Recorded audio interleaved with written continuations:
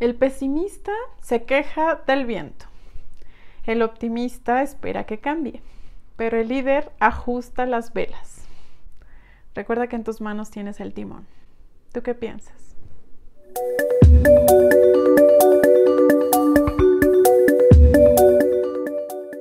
Hola, hola, yo soy Mika, bienvenidas, bienvenidos a Micaromas. Espero de verdad te encuentres muy bien. Gracias por ponerle play a este video, por regalarme un ratito de tu tiempo. Ya sé que muchos días me tardé en subir video, la verdad para mí no es muy sencillo el grabar, el editar, porque bueno, mis actividades del día son muchas, pero sí se puede, sí se puede chicos, si queremos y tenemos la intención, todo se puede en esta vida. Pero bueno, como ven en el título, hoy traigo ahora perfumes del catálogo Essica. Estoy muy contenta porque ahorita estoy probando muchos perfumes de catálogo, me gustan mucho, otros me han sorprendido, otros no, como en todas las casas, como en todos los perfumes. Quiero, quiero de verdad que conozcan este, este perfume. Es un agua de perfume de 45 mililitros. La cajita es pues muy sencilla, como color cobre. Tiene esta parte verde el envase no les puedo decir que es mi preferido, les mentiría totalmente. No me gusta tanto, no sé si es la forma. Bueno, este es un aroma, chicos, que de verdad me sorprendió muchísimo. Este es un chipre amaderado, así está clasificado. Realmente sorprendió a mi nariz, son de esos perfumes que digo, ¿por qué no compré dos? De verdad es delicioso, es una fragancia que entre sus notas tiene maderas, vetiver, tiene sándalo, tiene café, amaretto, tiene lo que es la manzana, grosellas negras y pera. Tiene esta parte frutal para mí bastante visible. Es un aroma delicioso, semiformal. Es una fragancia que en proyección y duración no tengo palabras. Es un perfume que proyecta medio a alto. Es una fragancia que en mí duró más de 9 horas, 10 horas en la piel. Es impresionante lo cómo tomó este perfume mi piel duró demasiado tiempo, con una intensidad importante, no baja rápido el aroma en tu piel. Si se transforma, tiene cierta evolución. Este perfume en su salida para mí sale mucho lo que son las grosellas negras. Otras personas me dijeron, siento un poquito más la pera, pero para mí la grosella negra es una de las más notorias en este perfume. Tiene una base amaderada deliciosa. Es un amaderado nada invasivo, nada unisex. Esta fragancia es totalmente femenina, es una fragancia que te viste. A mí me hace sentir guapa, me hace sentir segura para llegar a una junta, para llegar a un evento de tarde-noche, otoño-invierno, una noche fresca. Es una fragancia que la van a notar. Fue del gusto de muchísimas personas. Es, es una delicia de perfume. Ya la había aplicado aquí en mi brazo y en el secado en mi piel agarra mucho lo que son las maderas y el sándalo. Hay una partecita ahí medio licorosa cuando sale el perfume, como si las grosellas negras estuvieran acompañadas de este amareto con un toquecito ligero de café. Es un amareto licorosito bastante antojable. Y de repente cuando seca les digo que en mi piel agarró el sándalo, la madera, para mí lo que es la grosella negra es de principio a fin. Deliciosa, chicos, adictiva mi nariz. Quiero ir por el repuesto antes de que ya no la pueda encontrar. Es un perfume que fue del gusto de muchas personas, como les digo. La verdad es que es deliciosa. Para mí es del gusto de 25 años para arriba. Esta fragancia te viste, esta fragancia te acompaña todo el tiempo. Calidad-precio Essica creo que se lució mucho con esta fragancia, la recomiendo totalmente. No es un amaderado seco, no es un amaderado cítrico. Esta es una fragancia dulce por las frutas. Con este toquecito de amaretto, con este toquecito de café. La hace deliciosa, la hace cálida creo que vale totalmente la pena, totalmente la pena. Y bueno, esta sería la primera fragancia de Essica Fen McNatt. Deliciosa, deliciosa, deliciosa. Chicos, tienen que probar esto. Me voy a ir con la segunda fragancia que es Inspira. Es un hermoso rojo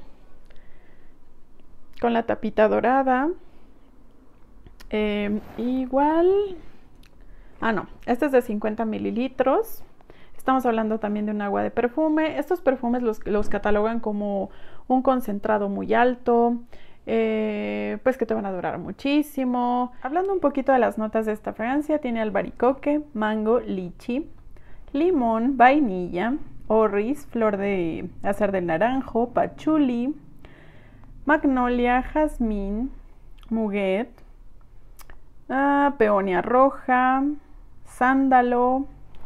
Bueno, tiene varias notitas. Eh, es una fragancia que de igual forma para mí no es tan juvenil. Creo que esta sí podría ser del gusto todavía como de más grande que la anterior. 25, 30 para arriba. No les dije, pero entre sus notas tiene rosa también. Y la rosa es la más notoria en este perfume. A quienes no les guste la nota de rosa, muy floral. Para mí es una rosa no tan joven, es una rosa ya madura. Es una rosa que se va haciendo un poquito como si estuvieras percibiendo el olor de los pétalos de rosa cuando ya cayeron. Esa es la sensación que me da a mí, acompañado de fruta. Este mango, este lichi, como si fuera estos pétalos de rosa que ya están a punto de marchitarse con este juguito de fruta. Eso es lo que yo percibo. También noto lo que es el sándalo, porque también tiene esta parte intensa, es un aroma intenso. Su atomizador también es bastante bueno. Sí, pero este es un aroma rosa eh, con un mango ácido. Yo creo que es esta parte mm, de flores, de peonia, de jazmín, la rosa, como si estuvieran muy bien combinaditas, pero cuando seca, chicos, ahí es donde siento que la rosa gana un poquito más junto con la peonia. Y la parte frutal acompaña solamente al perfume. Sí se me hace un poquito más maduro. Pero bueno, en un poquito más las noticias de este perfume. Es un perfume que a mí me duró cuatro horas, no más. Hay personas que me han dicho que sí les duró muchas horas más, pero a mí en mi piel no quiso. Como que a las 3, 4 horas empezó a bajar y empezó a desaparecer de la piel. Tiene una mm, estela media. Creo que no va con mi personalidad. No siento que vaya conmigo, pero bueno, fue del gusto también de muchas personas, pero más mujeres que hombres. Es una fragancia que para mí definitivamente es para otoño-invierno o noches frescas también. Es muy floral, chicos, muy, muy floral. Pero es un floral maduro en realidad. Entonces, bueno, pues eso es lo que yo percibo de esta fragancia. Eh, tiene elegancia, te viste, es semiformal formal, femenina, pero fuerte, intensita, como que este sándalo sí se deja ver. Pero bueno, esta es la percepción que tengo de este perfume. Les digo que no es como mi súper favorito. Y por último, y no menos importante, porque es una fragancia que a mí me gustó muchísimo. Al principio les he de confesar que no. Cuando lo exprayé fue como de ah, no sé qué pensar, estaba dudosa. Pero bueno, este es eh, Illuminas Prismatic, igual de Essica. Es una cajita bastante linda, tiene pues varios colorcillos degradados.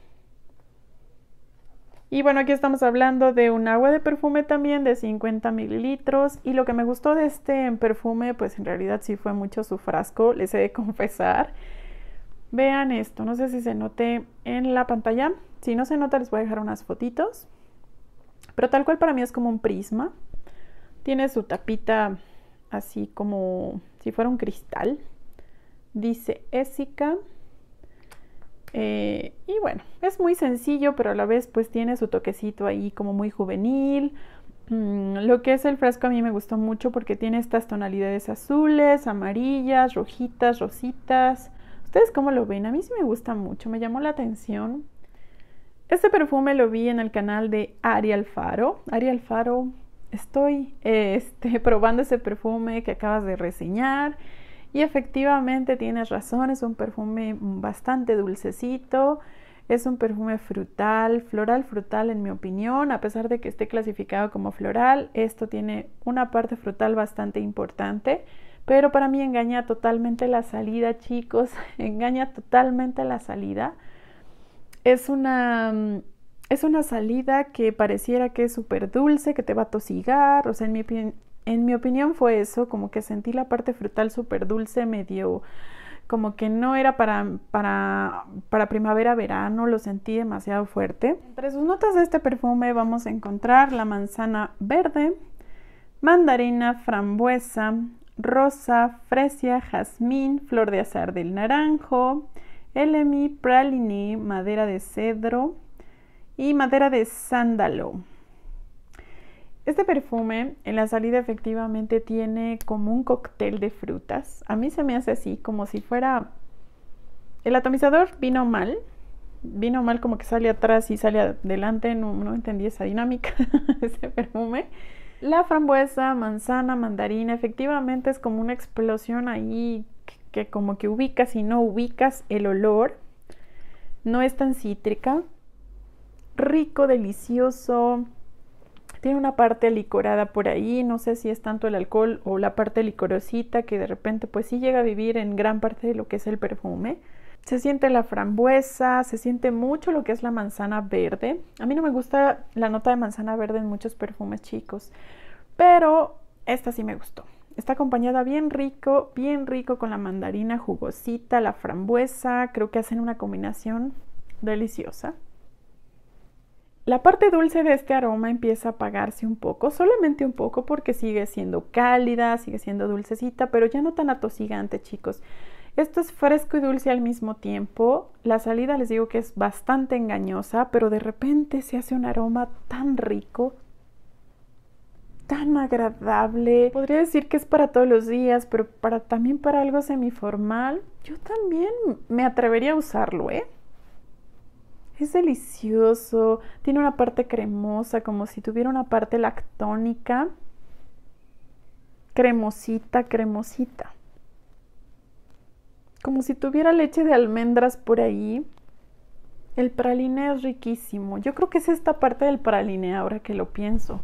El praliné viene esta parte chocolatadita, cremosita, medio almendradita. Creo que es el praliné el que le da como este tono delicioso, cremosito, dulcecito. tiene esta parte floral que solamente lo acompaña, pero esta parte dulce es deliciosa. Es bastante otoñal invernal. creo que estos tres es para todo el año, pero siempre y cuando esté como un poquito fresco en las noches, tarde noche, fresquecito, porque las tres tienen esta parte dulce, que si yo creo que si lo utilizas en primavera, verano en la mañana, no creo que sea la opción. Creo que dentro de estos tres, este es un poquito más amigable en ese sentido. La verdad que es deliciosa esta fragancia, me sorprendió. Al principio creí que no me iba a gustar, ya me quería deshacer de ella y la probé en mi piel porque pues la había probado en papelito y dije, no, a ver, espérame. La probé en piel y de repente dije, no, esto es delicioso, esto es riquísimo. Me duró aproximadamente unas 5 o 6 horas, no lo vi mal. Es una proyección media, pero bastante importante.